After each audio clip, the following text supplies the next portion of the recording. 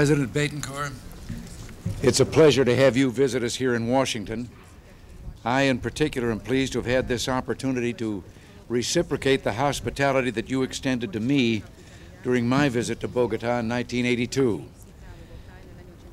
Your present visit, Mr. President, gives us the opportunity to affirm once again the solid ties of friendship and goodwill between our two countries. As the leaders of free people, we share a commitment to the democratic ideals which are at the heart of our societies. Today, we have renewed our mutual commitment to promoting democracy in this hemisphere, pursuing peace in Central America, and eliminating the scourge of narcotics trafficking from our societies. We have also explored areas of cooperation which can enhance the economic well-being Colombia and El Salvador, for example, have invited talks with their opponents and encouraged them to be part of a truly democratic process. Those who seek democracy in Nicaragua have asked the Sandinistas to engage in talks as a step toward peace and democracy in Nicaragua. We hope that the Sandinistas will take that step toward reconciliation. Later today, I will be talking to the American people in greater detail about this subject. I am glad that President Betancur and I were able to discuss how the United States can best help the Contadora countries achieve all of the agreed upon objectives for Central America, including national reconciliation in Nicaragua. Mr. President, we admire your determination to end the strife which has plagued your country. The citizens of Colombia are indeed lucky to have a leader of vision, courage, and compassion. We wish you success and hope that those who have fought with weapons learn to work within the democratic process. It is appropriate that we praise your efforts to foster peace and brotherhood during this Holy Week. Mr. President, your personal courage and dedication are also evident in your government's all-out battle against narcotics traffickers. You have my unbounded respect for what you're doing. The production of illicit narcotics and the peddling of these drugs corrupt our societies, our children, and with them, our future. The struggle against this unmitigated evil unites all good and decent people. We look forward to Mrs. Betancur's return here later this month to join Nancy and other First Ladies in discussing the problem, especially as it affects our young people. In the United States, the fight against drug use has a top priority. We're trying to help those on drugs get off, to prevent those not involved from starting, and we're doing our best to smash the trade in illegal drugs. This matter is of vital concern to us both, and in finding solution to the problem, Colombia and the United States are full partners, as we affirm today in our joint statement on narcotics. The illegal drug trade, as we both agree, is a cancer. Commercial trade, on the other hand, serves the interests of both our peoples. While Americans enjoy Colombian products such as coffee, cut flowers, and tropical fruits, Colombians benefit from U.S. technology and goods such as heavy machinery, chemicals, and wheat. At a time when both our governments trampled or grapple with trade deficits in a world of many trading partners, let us build on our history of cooperation to develop trade policies which strengthen our economies, give incentive to enterprise, and encourage exchange between our people. I look forward, Mr. President, to working closely with you on these and other significant matters. On behalf of the United States, I extend warm wishes to both you, President Betancur, and to the Colombian people. We bid you farewell. We wish you a safe and happy journey home and a happy Easter.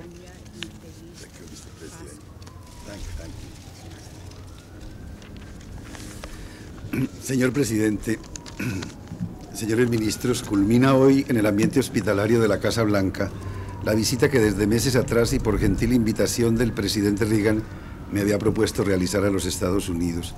Ha sido en verdad una grata oportunidad para dialogar con él con el vicepresidente Bush, con el secretario Schulz y con otros miembros de su gobierno sobre diversos temas, unos de alcance multilateral y otros de naturaleza bilateral, pero todos ellos de interés para el conjunto de los pueblos de América y en particular para nuestras dos naciones. Mr. President, members of the Cabinet, my visit to the United States, which was planned some months ago at the invitation of President Reagan, comes to an end today in the cordial climate of the White House. It has been a good opportunity to speak with President Reagan, with Vice President Bush, with Secretary Shultz, and with other members of this administration on several issues, some bilateral, other multilateral, which are of interest to the people of the Americas and in particular to our two nations. Hoy, por invitación suya, nos reunimos en Washington para examinar diversos temas multilaterales y bilaterales. Entre los primeros, la crisis centroamericana, el proceso de democratización de América Latina, los problemas derivados de la deuda externa, el fortalecimiento del Acuerdo Internacional del Café y de los organismos multilaterales de crédito y la lucha internacional contra el narcotráfico. Entre los segundos, el programa de ajuste macroeconómico con autodisciplina y desarrollo de Colombia y el intercambio comercial colombo-americano. También he aprovechado esta visita para intercambiar ideas con distinguidos miembros del Congreso, con altos dignatarios de las instituciones financieras internacionales, con destacadas personalidades del sector académico y con prominentes líderes del sector privado norteamericano.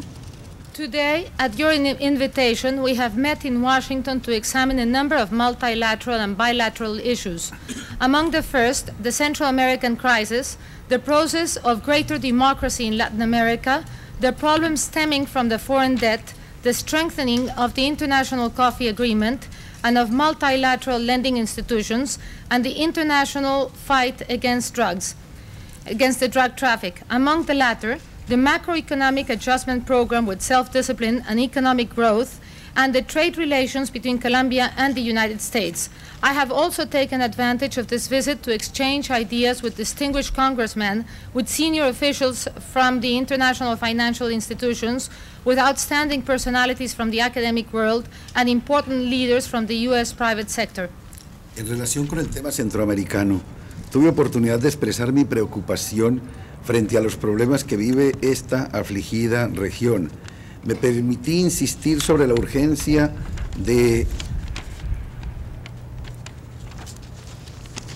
reactivar el proceso negociador de contadora y agotar todos los esfuerzos de persuasión para poner en marcha, a través del acta de contadora, los principios, compromisos y recomendaciones contenidos en el documento de objetivos. Durante mi reciente visita a los países centroamericanos, pude comprobar el renovado deseo de todos ellos de abrirle nuevas oportunidades al diálogo y en el caso de los países que integran el grupo de contadora, su decisión de propiciar estas oportunidades. Regarding the Central American issue, I was able to bring up my concern with the problems that affect that region.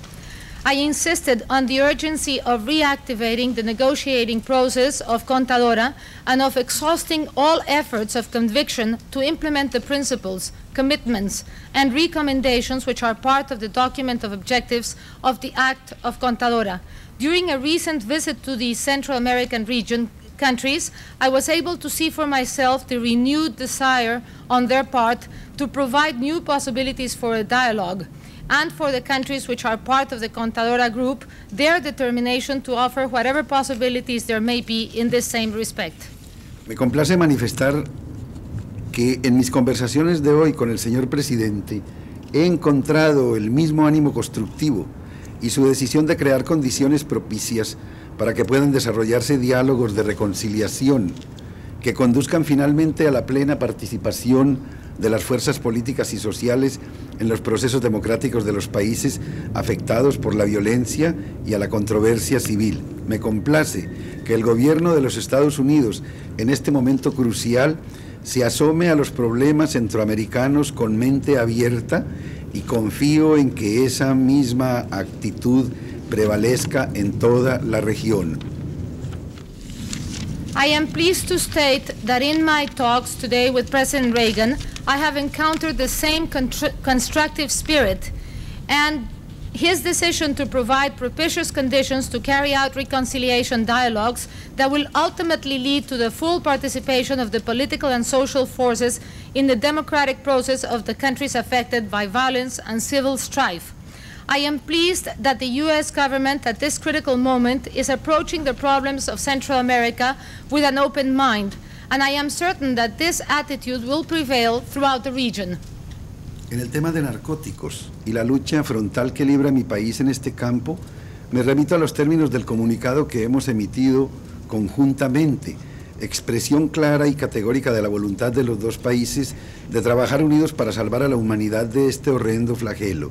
En el transcurso de las conversaciones con las autoridades de los Estados Unidos, me permití destacar el vínculo existente entre deuda externa y democracia y solicité una ronda de negociaciones multilaterales para facilitar las exportaciones de los países en desarrollo.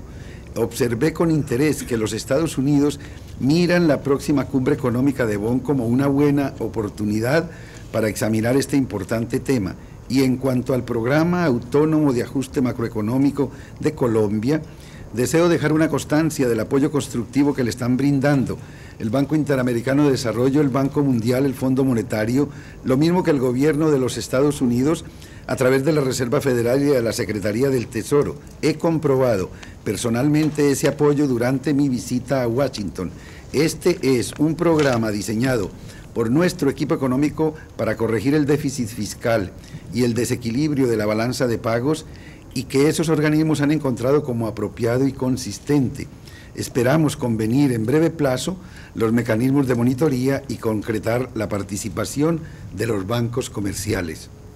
subject of narcotics, uh, we are carrying out a frontal assault in my country in this respect. I refer you to the communique that, pres that President Reagan and I have issued, which clearly and categorically expresses the will of both countries to work together to rescue hum humanity from this scourge. During the conversations with the authorities of the United States, I underscored the link that there is, the existing link that there is between the external debt and democracy, and requested that a new round of negotiations, multilateral negotiations, be held to ease exports from developing countries. I have noted with interest that the United States looks upon the coming economic summit to be held at Bonn as a good occasion to examine these, this important subject in connection to Colombia's autonomous program of macroeconomic adjustment, I wish to place on record the positive support that we have received from the Inter-American Development Bank, from the World Bank, from the International Monetary Fund, as well as from the government of the United States through its Federal Reserve and from the Treasury Department. I have personally seen tangible proof of this support while on this visit. Señor presidente, creemos que ha llegado el momento, como tuve oportunidad de expresarlo ante el Congreso, para que los Estados Unidos y América Latina redefinan los parámetros de su relación mutua. Necesitamos, señor presidente, un nuevo trato, una nueva comprensión, una doctrina común, una alianza para la paz y el desarrollo en América Latina.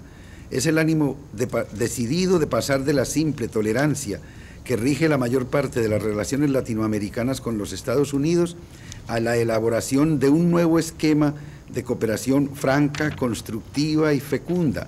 Este nuevo trato, esta alianza para la paz, no procura únicamente el mejoramiento de las relaciones económicas en el hemisferio, sino también la adopción de propósitos políticos en torno a la defensa de la democracia, que es el gran valor espiritual de la civilización americana y de este consenso, señor presidente, saldrían fortalecidas las instituciones políticas del hemisferio, multiplicadas las posibilidades de la paz y más abiertas las perspectivas de un desarrollo sostenido. At different time, we believe that the time has come, as I said before Congress, for the United States and Latin America to redefine the parameters of their mutual relations we need what I would call a new treatment, a new understanding, a common doctrine, an alliance for peace, with the determination to go from mere tolerance that has marked the relations between Latin America and the United States to the formulation of a new scheme of open, constructive, and fruitful cooperation. This new treatment, this alliance for peace, will not only improve rela economic relations in the hemisphere, but it will also mean the adoption of political objectives uh, to defend democracy, which is the great spiritual value of American civilization.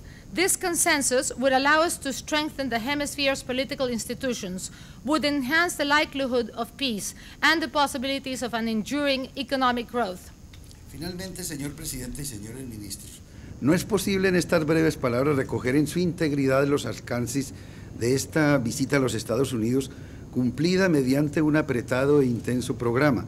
He transmitido a las autoridades con franqueza y sin subterfugios la totalidad de mi pensamiento sobre los temas de interés común. He sido escuchado con atención y respeto como corresponde a la tradición libre y democrática de esta gran nación me complace registrarlo así y confío que mis opiniones y comentarios sirvan para una mejor comprensión en los Estados Unidos sobre América Latina, este extenso, hermoso y dinámico subcontinente que ama la libertad y entiende que para preservarla y fortalecerla es fundamental la justicia e indispensable el desarrollo. Muchas gracias, señor presidente. Finally, Mr. President and members of the Cabinet, it is not altogether possible in these brief remarks to bring out the significance that I assign to this historic visit to the United States, which has had a very tight schedule, as you know. I have made known, I have made known to the authorities, candidly and without subterfuges, the totality of my ideas on issues which are of interest to us both. I have been heard with attention and respect as befits the tradition of freedom and democracy of this great nation. I am pleased to state that it has been so, and that I hope that my views and remarks will create a greater climate of understanding between the United States and Latin America, this vast, beautiful, and dynamic subcontinent that cherishes freedom and understands that to maintain and strengthen it, we need justice and we need development. Thank you very much, Mr. President. ですよ。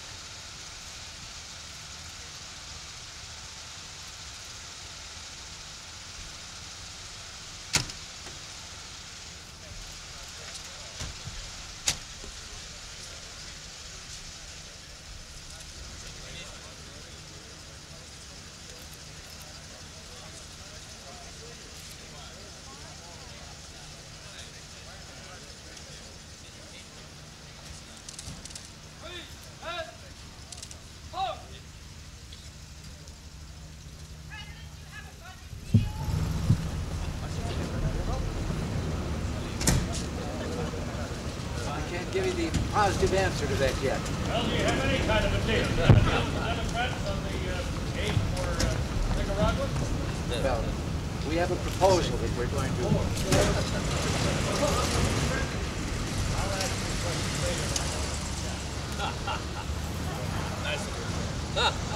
Sam, you made my day.